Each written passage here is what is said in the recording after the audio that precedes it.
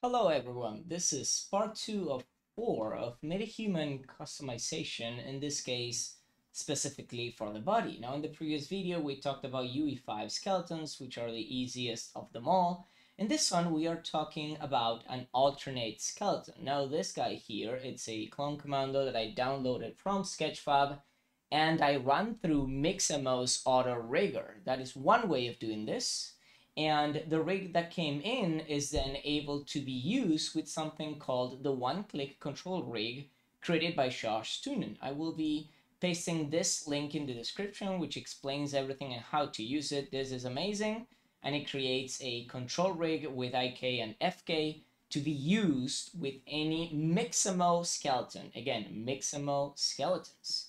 And then on the right hand side, we have a character from Unreal Engine, which is a character from Paragon. Now, all of these are free. They are in Fab and they are awesome because we could, with them, create a modular rig.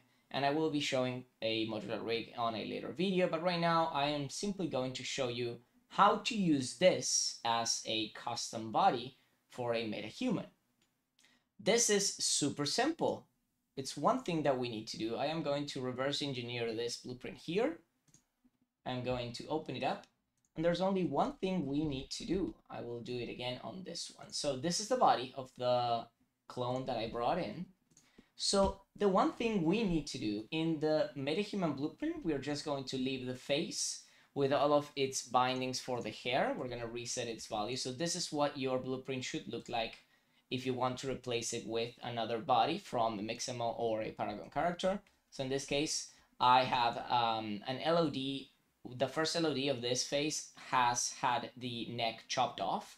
And since I am forcing the LOD to stay at zero, there are no issues with this. So if I force the LOD to stay at zero here, it's always going to respect the first one.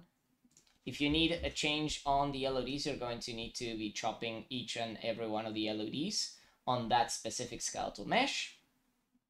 And the simple path that we need to take here is obviously the first thing we need to do is bring in a skeletal mesh. So we are going to bring in one, we're going to call it body. And I know that I have a clone body headless because I chopped the helmet off the clone commando that I had here. I am going to bring it in. Once we have it in, I am simply going to drag the face on top of the body and then this is the trick here. We are going to parent socket the face to the neck. In this case, there's only one neck. This is what happens once we parent it. It's fine, it's normal because of the direction of the neck and the position of the neck. It's parenting it directly to our pivot point rather than the center, which makes sense. Everything is as intended.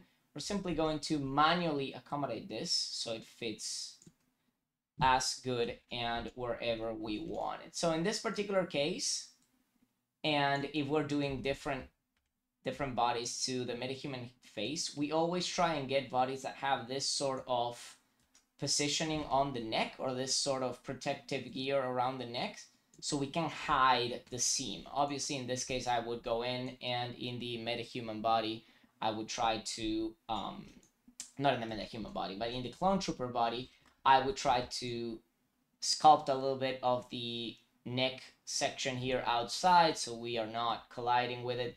But again, we're not going to do this today. We're just experiencing and setting up the mechanical the mechanical side of this, right? We're trying to get this to work as a custom body for a metahuman. Now, if I were to, again, I just did the simple attachment. That's all I did. If I were to compile and save now, this is going to be attached.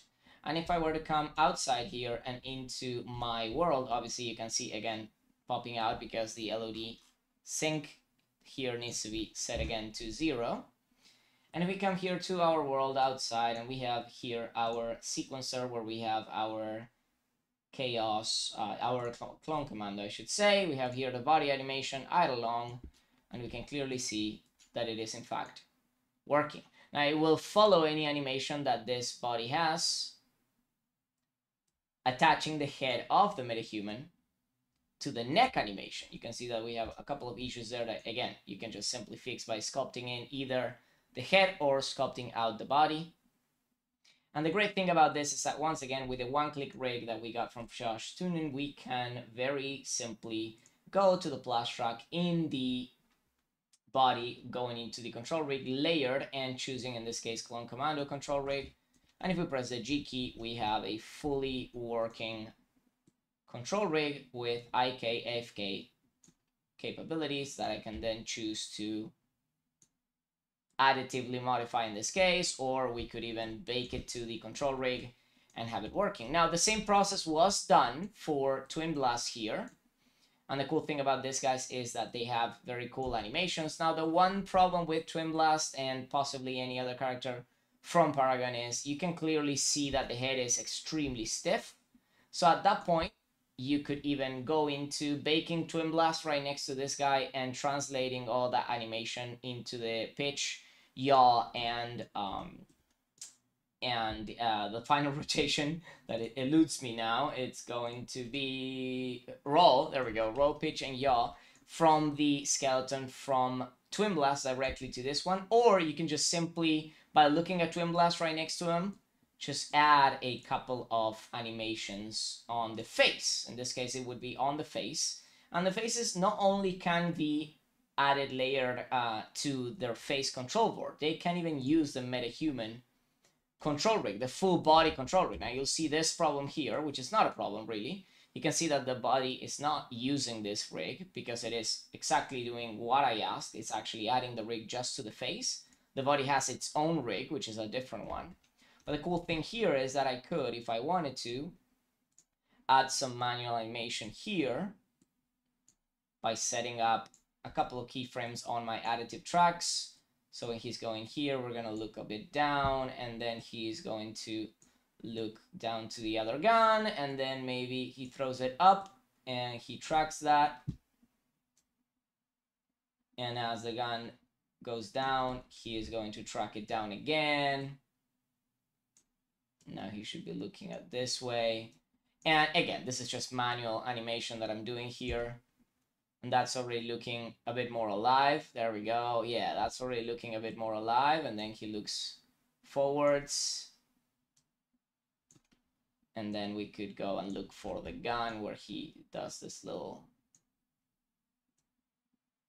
uh, blowing wind into the blazing hot gun. So that's already looking much, much better. Again, a couple keyframes just on an additive track, and then he goes and finalizes that. So that's essentially how to replace the metahuman body with an alternate skeleton. Obviously, always aim to a skeleton that contains a control rig already. Again, I'll leave the link in the description for this control rig exclusive for Mixamo characters. Or create a modular rig for any characters that are under the Epic Games or Unreal Engine, I should say, skeleton structure, which all Paragon characters are. In a next video, we are going to be talking about a character or changing the cloth or creating a new body with no skeleton at all. We are going to start from a static mesh. So that's going to pretty much supersede anything here because we are going to be using the metahuman skeleton in Blender to transfer all of those weights. That's going to be coming on the third iteration of this video. Thank you for watching continue watching if you want to see more. No skeletons and then we are going to be covering chaos cloth. There's also a first video that covers a UE5 skeleton the simplest of all of these method methods and there's going to be more and more on this channel. Again thank you for watching. See you next time